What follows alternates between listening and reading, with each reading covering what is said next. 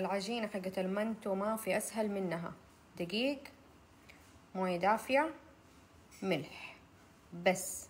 والعجينة تكون قاسية ما تكون طرية. لما تخلوا العجينة لينة آه المنتو حيجلد معاكي ويصير مو كويس. فكل ما خليتي العجينة يابسة آه يصير عندها قدرة العجينة إنها تمتص البخار بدون ما تجلد. طيب شوفوا أنا مستخدمة دقيق سعودي البروتين فيه 11 جرام. استخدمت موية كوبين إلا ربع موية دافية. شوفوا العجينة لما تيجوا تعجنوها شايفين شكلها؟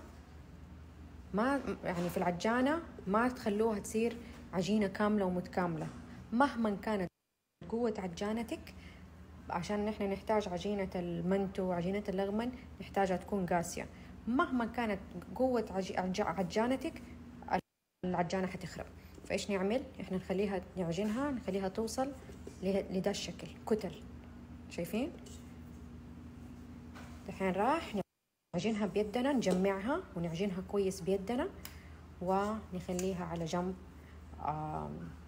ترتاح. طبعا هي قاسية دحين تشوفوها. طيب بس لما ترتاح حتطرى وتصير حلوة. بس مو تطرى كمان تصير مرة لينة. إحنا نبغاها سهل نتحكم فيها. كل ما تكون قاسية فكل ما تكون العجينة يابسة كل ما التحكم فيها وقت التشكيل يكون أفضل. ما تكون طرية مستحيل حتقدروا تقرصوها حتميع معاكم غير إنها تجلد وقت الطبخ. فهذا هو السر الأساسي في المنتو العجينة. فراح نعجنها إلين تصير ناعمة ونخليها ترتاح من ساعتين إلى ثلاثة ساعات. لما تعجنوها لازم تناهجوا كده اعتبروها رياضة. شوفوا آه العجينة يابسة وناعمة وحلوة. دحين مع الشتاء هتاخد معنا وقت عشان ترتاح وتطرى كده وتصير حلوة ونقدر نبدأ نشكلها من ساعتين إلى ثلاثة ساعات. في الصيف ساعة واحدة إلى ساعتين تكفيكم ترتاح. الحين راح نحطها في زبدية ما تدهنوا زيت ولا شيء. الزيت في عجينة المنتو العدو اللدود هو اللي يخلي العجينة تجلد. نغطيها بالنايلون مرة كويس ونخليها ترتاح وبعدين نكمل باقي الخطوات إن شاء الله. وهنا عندنا الحشوة حقت المنتو. أنا أحب أستخدم لحم غنم حري. مرة أفضله ممكن السواكني كمان كويس. بس أنا أفضل دائما يكون حري ويكون طازة. شوفوا لون اللحمة كيف طازة. ودائما أقول للجزار يفرم لي هي فرمتين خشنة. تكون اللحمة خشنة. إنه لحمة المنتو الأفضل إنها تتقطع بالسكينة. بس خلاص ما عاد صار أحد يقطع بالسكينة فنعملها خشنة عشان ما تكون ناعمة وتصير زي كأنها كباب. شايفين كيف لونها تجنن ما شاء الله؟ طبعا أنا أحب أضيف شحم هذا اختياري. المنتو كل ما كان دهنة اللحمة فيها ما كانت اللحمة من جوا مفرفطة. ما تكون اللحمة يابسة وزي الحجر لا تكون مفرفطة معاكي وهو السر في الدهنة. فأنا عندي هنا اللحم حطيت معاه الشحم راح أحط عليه ملح وفلفل أسود ونقطة صغيرة قرنفل وعندي بصل مفروم وكوسة دي اختيارية. طيب شوفوا الكوسة اختيارية. في ناس تحب تحط قرع في ناس تحط تحط كوسة. طبعا هو المفروض إنها تتقطع مكعبات مرة صغيرة بس إحنا برضو عشان نسرع الموضوع نحط كوسة. إيش فايدة الكوسة؟ تديها طعم لذيذ وتدي طراوة مرة رهيبة للحمة. مرة رهيبة للحمة. وما حيبان بالذات لو بشرتوها ترى ما حتبان جوة اللحمة حقت المنتو. إحنا صراحة منتو بدون كوسة ما نحسه مرة لذيذ. البصل يكون كميته محترمة. ويكون مفروم فرم ناعم زي كده يا إما بالسكينة أو بالفرامة هذا بالفرامة. آه والموضوع القرنفل طبعا البهارات اللي تتحط للمنتو ملح وفلفل أسود ده الأساس. أنا أحب أضيف نقطة قرنفل زي بابا تديني طعم مرة لذيذ بس نقطة مرة صغيرة. آه آه طبعا مو ده كله. حنحط مرة نقطة صغيرة هنا تديكي كده طعم مرة لذيذ للمنتو. بخصوص اللحمة المفرومة كل ما تخلوها خشنة حتضطروا إنكم تستهلكوا لحم أكتر. كل ما تخلوها ناعمة حتستهلكوا لحم أقل. شوفوا حجم اللحمة كيف؟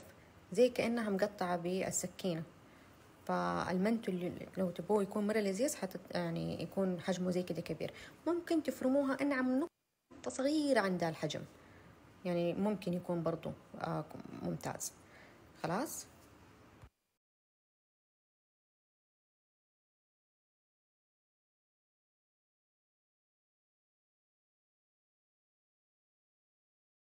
شوفوا هنا قسمنا العجينة الكور.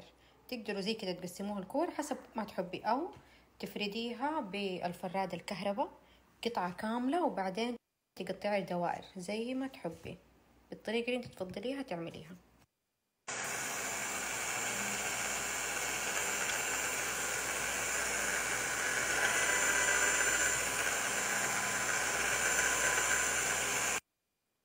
شوفوا كل ما تفردوا العجينة حاولوا قد ما تقدروا إنها تكون متغطاية عشان ما تنشف لأنه إحنا زي ما اتفقنا الموية في العجينة تكون مرة قليل.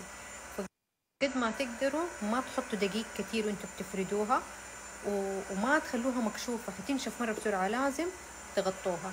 نيجي عند الحشوة طريقة القرطصة اللي ما فيها تسوي القرطصة تقدروا تحطوا اللحمة وتلفوها زي البكشة يعني آه يعني في كثير ناس يسووا دي الحركة. لما تحطي اللحمة حاولي إنك أنت تحطي اللحمة بكمية كويسة. يعني زي كده يعتبر مرة قليل. لما تحطي حشوة قليل المنتو حيصير آه كله هوا كده ومجعرة ممكن يتقطع معاكي. ولو حطيتي كمان بزيادة آه حتتقطع معاكي العجينة وانتي قاعدة تلفيها يعني شوفوا زي كده راح تحطوا كمية. شوفوا تبدأوا زي كده. هذا للمبتدئين. شايفين المسافة اللي, بين اللحم بين الحشوة والعجينة؟ زي كده تكون عشان تكون ماسكة نفسها ويصير شكلها مرة مرتب. بعدين حتدخلوا الجزء ده لجوا تضغطوا على هنا. إبرهامكم لاصق في اللي ضغطيها إبهامك فيها. وتدخليها على جوا وتاخدي دي معاكي. شوف هي أصلا لحالها حتتزم معاكي.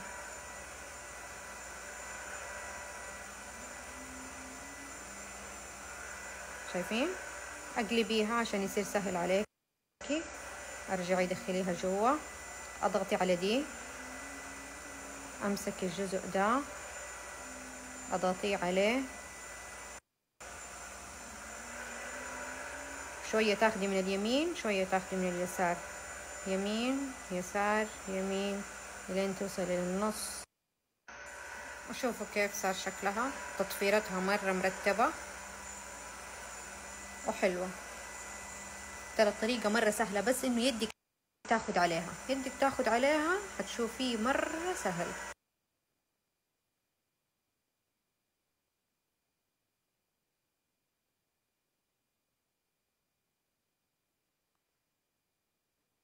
شوفوا حبايبي معلومة مهمة وأرجع أعيدها مرة تانية لأنها مرة مهمة. اللحم المفروم ما يكون الموية فيها كتير. حاولوا تحطوا صفاية لو اللحمة مفرزنة عندكم. حطوا صفاية لأنه الموية لما تكون كتير تكفيلة حتصير صعبة من تحت الموية حتقطع لك العجينة. فخلوا لحمتكم دايما أو حشوتكم ناشفة. آه في قدر المنتو كل دور راح تدهنوها بسمن أو زيت. أنا أفضل السمن. تستخدموا سمن نباتي أو سمن حيواني زي ما تحبوا. يفضل يكون سمن بقر ما يكون غنم عشان لا يغير الطعم. أو زيت. في ناس تحط تحط زيت وأنا احب أحط سمن عشان ما يلصق المنتو تحت.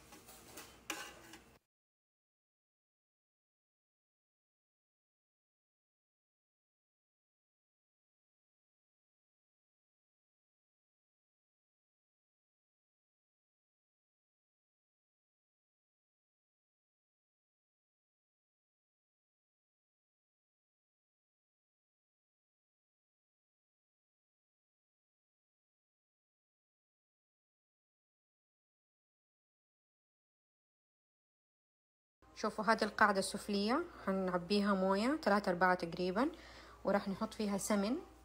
السمن طبعا إحنا اوريدي أصلا كمان حاطين سمن بس يخلي العجين طري والخل كمان راح نحط خل أسود. الخل الأسود يخلي العجين طري وفي نفس الوقت ما يعمل لي عشان هذا ألمنيوم ما يعمل لي أماريات كده سودة هنا. كمان راح نحط ملح كان بنسلق مكرونة. وخلاص. راح نحطها على نار عالية ونخليها تغلي مرة كويس مرة ضروري إنه ما نحط المنتو والموية باردة. نخليها تغلي مرة كويس على بال ما نخلص باقي الأدوار حقت المنتو. خلاص الموية غليت. طبعا لما يكون المنتو مفرزن ما تخلوا الموية مغلية. المنتو المفرزن على طول وهي الموية باردة آه تحطوا المنتو يلا يعني تحطوا المنتو وهو مثلج يعني مباشرة من الفريزر. على النار. تكون الموية باردة وتخلوه لين آه لما تغلي الموية تخلوه نص ساعة. هسه حنغطي عليه. النار تفضل عالية. ونحط عليه تقل. لازم نحط عليه حاجة تقيلة عشان ما نخلي نحاول نخلي البخار قد ما نقدر جوا. خلاص نخليه كده بالضبط خمسة وعشرين ثمانية وعشرين دقيقة. بيكون خلص. شوفوا ما شاء الله تبارك الله كيف المنتو استوى. آه دحين إيش نعمل؟ راح نرشه بموية. موية من آه الصنبور ليش؟ موية باردة يعني. عشان نوقف طبخه. خلاص نعمل زي الصدمة. و... و... ونخليه يتفكك بسرعة. يعني ما يفضل لاصق في بعض. خلاص ونبدأ. نغرفه في صحن التقديم شوفوا كيف الحبة. من تحت ما تقطعت عشان حطينا سمن وما تخلوها مرة خفيفة العجينة. لما تخففوها بزيادة آه حيصير آه المنتو من تحت يتقطع لما تيجوا تشيلوه.